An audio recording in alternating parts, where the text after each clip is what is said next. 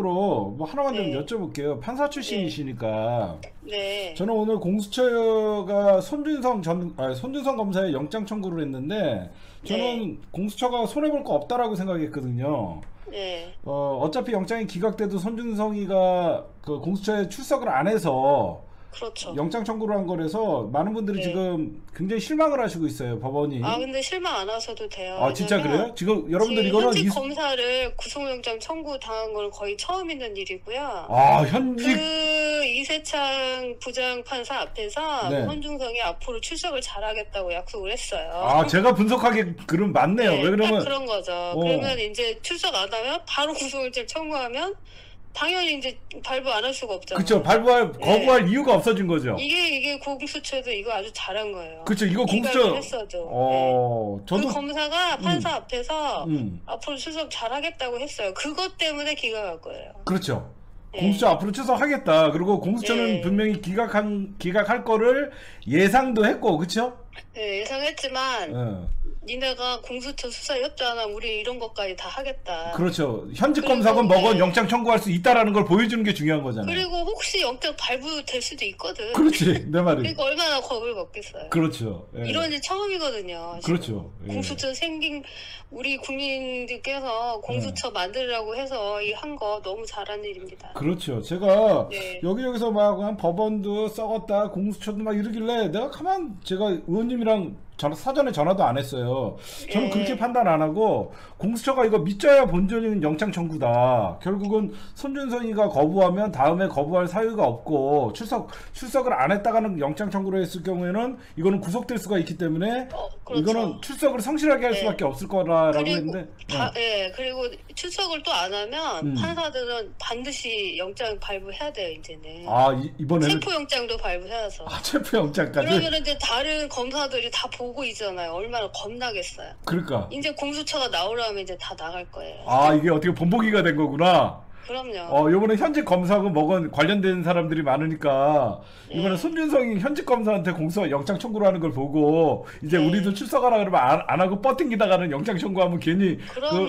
그, 거기 앉아 있는 자체가 괴로우니까 예, 아. 불안하지. 이게 이게 판사들이 음. 반반이거든 확률이. 그렇지. 예. 지금 판사들이 벼- 검사들이 벼르고 있기 때문에. 어 왜요? 의원님? 왜 벼르고 있어요? 예. 예? 왜 아, 지금 그러- 윤석열 아, 판사 사찰! 판사들을 얼마나 힘들게 했습니까? 어 판사 사찰도 그렇고. 예, 그러니까는 지금 벼르고 있는데 그 제가 아는 그 부장 판사 예. 이세창 그 양반도 마음이 약한 사람이야. 어. 그래서 이제 그송 검사가 출석 잘 하겠다고 앞에서 그러니까 어. 예, 이제 일단은 기각을 한 거죠. 예, 일단 도주 우려는 없으니까. 예, 근데 음. 만약에 또 안 갔는데 어. 법원에서 어. 또 발부를 안 해준다. 그러면 이제 법원을 이제 정말 우리가 진짜 손봐야지. 그렇지 법원이 욕을 먹, 욕게 되, 먹게 되니까 그때는 영장 청구. 어. 예, 영장 청구의 조- 시스템을 바꾸겠다, 바꾸겠다고 이제 국회에서 협박을 해야 돼, 이제.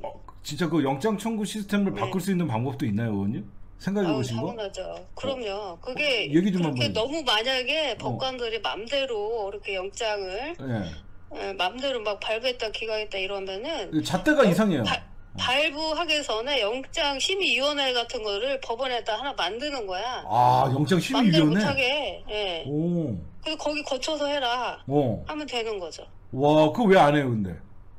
지금 검찰 개혁한다고 사법 개혁을 예. 안 했고 제가 누누이 말씀드렸죠. 어. 저기 민주당에서 사법 개혁을 아직 예. 저 외에는 안- 예? 시동 거는 사람이 이렇게 없다고. 아 영장 그래서- 심의위원회 좋네.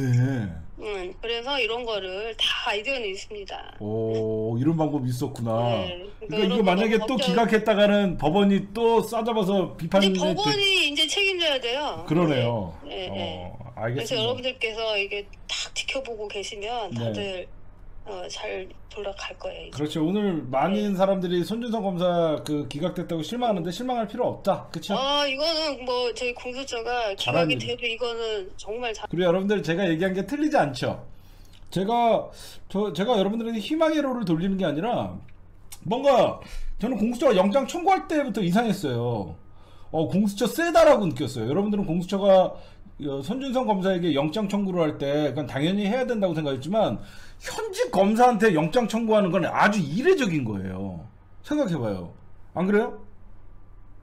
현직 검사에게 영장 청구하는 건 굉장한 이례적인 건데 공수처가 승부수를 던진 거고 손준성 검사가 오늘 여러분들 영장 기각된 거는 이세창 판사에게 제가 앞으로 출석 잘하겠습니다.